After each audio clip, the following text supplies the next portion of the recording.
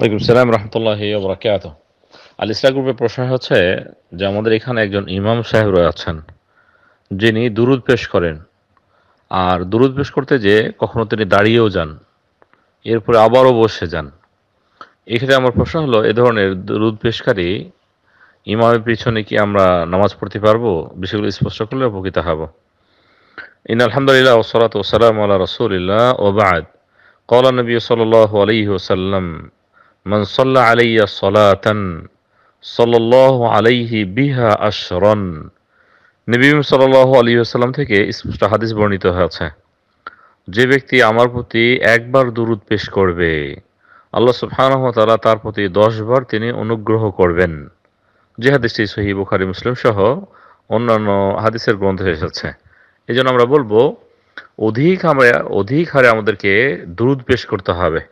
কেননা এর মাধ্যমে অন্য বর্ণতে এসেছে, মানুষের যত ধরনের টেনশন সেগুলো দূর হয়, আল্লাহ তালা গুণামোচন করে দেন।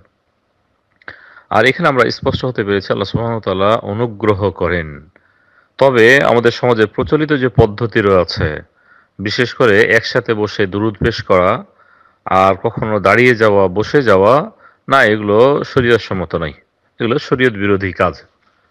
আর এর মাধ্যমে কেউ যদি এমনটি মনে করেন যে নবী সাল আলী সাল্লাম চলে এসেছেন আমাদের মাঝে, তাহলে এটি বড় ধরনের অন্যায়।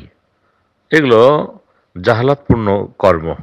কেননা যাদের সঠিক জ্ঞান নাই, তারাই এ ধরনের কাজ করতে পারে। এই জন্য আমরা এইভাবে বলব, তাদের পিছনে নামাজ ছেড়ে দেওয়ার চেয়ে আমাদের দায়িত্ব হলো তাকে বিষয়গুলো সুন্দরভাবে বুঝানো।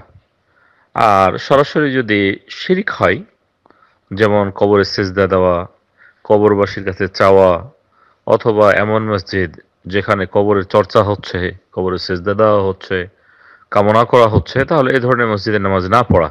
এই ক্ষেত্রে আমরা পরামর্শ দেব যে তাকে সুন্দরভাবে বোঝানোর চেষ্টা করা, যে এই পদ্ধতিতে দুরুদ পেশ করার যে নীতি, সে নীতি শরীয়তে নাই। অতএব আমাদেরকে এমনি দুরুদ পেশ করতে হবে আমরা একাকি দুরুদ পেশ করবো আল্লাহ তালা